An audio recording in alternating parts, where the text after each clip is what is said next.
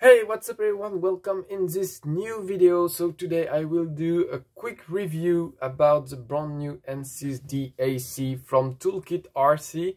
So they sent me uh, this uh, charger and they had a really nice touch to put this sticker on it and yeah, I, it's, it was just a really nice surprise when I opened the, the box. So thanks a lot to them. It, it means a lot to me uh, to see this kind of nice, nice touch.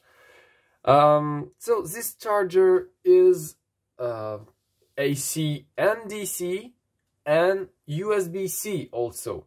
So if you have one of these things, so big batteries for to charge cell phone or uh, to charge in the car, um, you just plug plug a USB-C here in the back like this, and you can plug it. I will show you. I will plug it right there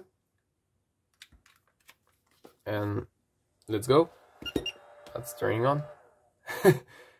So yeah you can charge your battery up to 65 watts with a cell phone battery charger.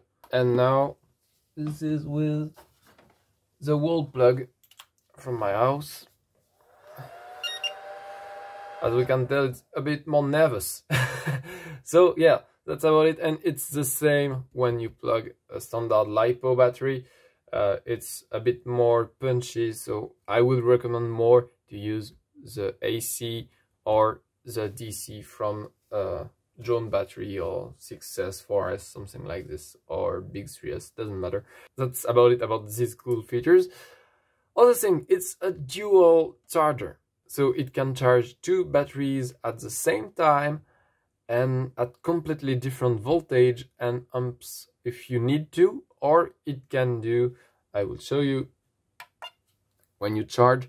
Uh, so I want uh, like this LiPo 3S I can select channel 1 or 2 and if I want I can select channel 1 and 2 or neither of them.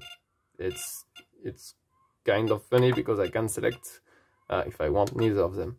But yeah, that's a cool feature. I can select anything. I can jump from one channel to another.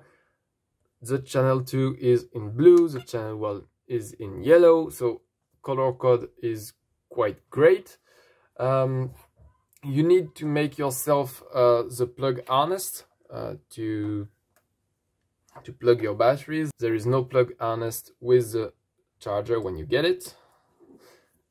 And we'll see with a 3S what is the menu.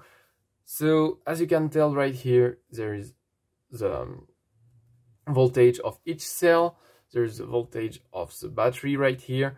And if you want to do quickly um, internal resistance test, you just push channel exit long.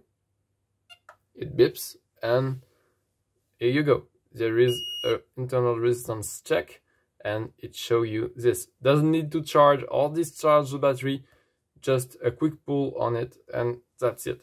So it's really great. Uh, I like that a lot because I need to check quite often all my batteries to make sure they are healthy. So that's good. And then you can navigate in here. Uh, so I will charge it a bit.